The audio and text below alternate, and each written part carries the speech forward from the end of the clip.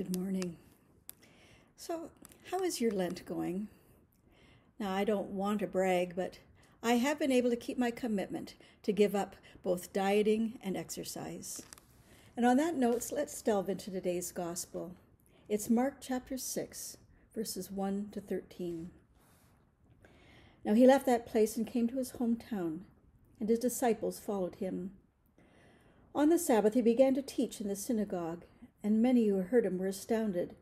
They said, Where did this man get all this? What is this wisdom that has been given to him? What deeds of power are being done by his hands? Is not this the carpenter, the son of Mary, and the brother of James, and Joseph, and Judas, and Simon? And are not his sisters here with us? And they took offense at him. Then Jesus said to them, Prophets are not without honor, except in their hometown, and among their own kin, and in their own house. And he could do no deed of power there, except that he laid hands on a few sick people and cured them. And he was amazed at their unbelief. And then he went about among the villages teaching. He called the twelve and began to send them out, two by two, and gave them authority over the unclean spirits he ordered them to take nothing for their journey except a staff, no bread, no bag, no money in their belts, but to wear sandals and not to put on two tunics.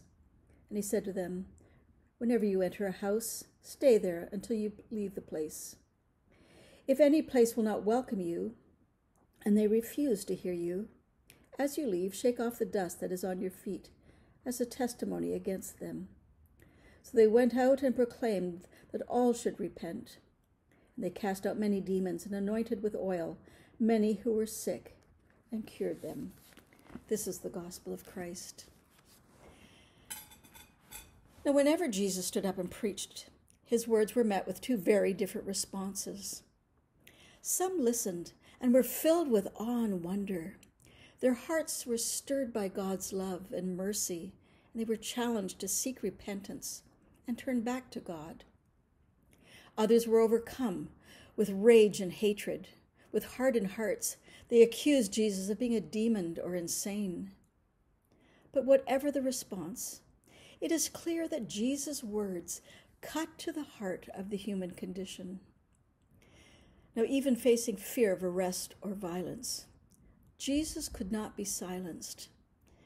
And here, 2,000 years later, the power of his message invites us to heed the call to turn back to God and challenges us to be his instrument of justice, peace, and love in a world that desperately needs to remember that God walks with us through the darkness towards the promise of new life.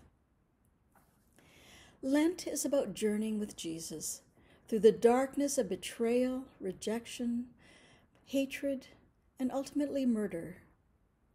It is a journey we would rather not take. I mean, it is hard to spend time in self reflection, only to realize that at times we too have given in to anger and hatred.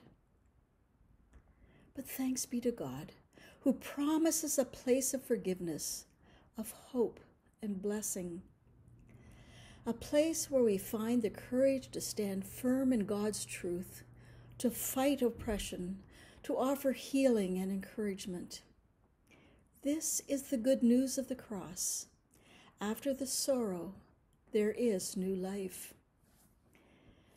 Have we got grown complacent to the fact that people are still dying from COVID? Is it merely a number? Have we forgotten that behind each statistic, there is a grieving family?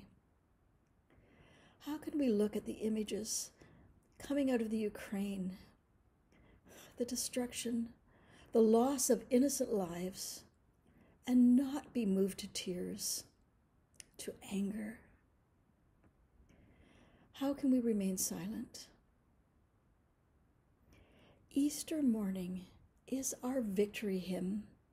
Jesus has shattered the darkness of man's hearts and souls with the light of his love and mercy.